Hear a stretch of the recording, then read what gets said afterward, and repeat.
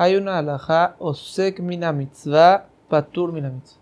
Una persona que está osek va mitzvah es patur de otra mitzvah. Si yo estoy haciendo una mitzvah, soy patur de otra. Digamos, la a trae un caso, yo tengo una pérdida en la casa, y yo la estoy cuidando, que la pérdida no, la estoy manteniendo, porque hay que hacerle mantenimiento a las cosas para que no se dañen. Y en ese momento viene un pobre a pedirme acá. Dice la Gemara, patur de darle acá. Por cuanto que yo estoy haciendo una mitzvah, patur de otra mitzvah. Ahorita esta alhaja existe en si yo estoy haciendo una mitzvah de Rabbanán y la mitzvah que me viene enfrente es una mitzvah de la Torah. ¿Cuál va a ser el dir en este caso? Como el caso que mencionamos anterior. Una persona que está diciendo la amida llega a Birkat Kohanim. Birkat Kohanim es una mitzvah de la Torah. La amida para nosotros es una mitzvah de Rabbanán. Entonces, si es tiene mitzvah de la Torah y mitzvah de Rabbanán, él está haciendo la mitzvah de Rabbanán, si también va a empujar a la mitzvah de Orait. Sobre esto trajeron varias rayot. Una de las rayot es un hatán un novio, que él está diciendo, eh, que un novio, dice, la gente que está alegrando al novio son peturín de Keriachema. Alegrar al novio no es una mitzvah de la Torah. Y aún así están peturín de Keriachema. Hoy en día decimos que no hay motivo porque también el novio dice Keriachema porque igual nunca nos concentramos.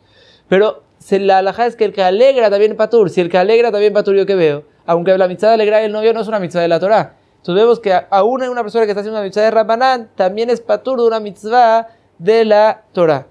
Traen prueba de otro caso. Está escrito una persona que va a, visitar a su rabino en la fiesta, que hay una mitzvah de la fiesta, visitar a su rabino. Él está en camino y no tiene suka. Por cuanto que él está haciendo una mitzvah de ir a ver a su rabino, patur de la mitzvah de suka. Aunque esta mitzvah de ver al rabino es una mitzvah de Rabbanán. Esto no es claro, porque alguien dice que es parte de la mitzvah de la Torah de respetar al rabino, y eso sí es mitzvah de la Torah. Pero la base para ir a visitar, la hermana no trae por respetar al rabino, si la hermana lo trae por el Naví. El caso de, de Liau, que fue a verlo, de Elisha, que fue a verlo la mujer, y dijo, lo jodes velo Shabbat. Entonces vemos que si es base de Naví, es una alhaja de Rabbanán, y aún así eso empuja una mitzvah de la Torah. La Mishnah también, la hermana también lo trae sobre la Jota Belut. Si una persona está con una Bel, el Maguen Abraham trae que no necesita salir de la vela aunque va a perder Kriyat una persona que cuida a un muerto también no necesita salir de eso, aunque son solo mitzvot de Rabbanán. De todo esto sale que también el mitzvot de Rabbanán, si la persona hace una mitzvah de Rabbanán, es patur de una mitzvah de la Torah. ¿Cuál es la lógica? Dice el Kovechuri, en cada mitzvah de Rabbanán tiene también mitzvah de la Torah, el Azul.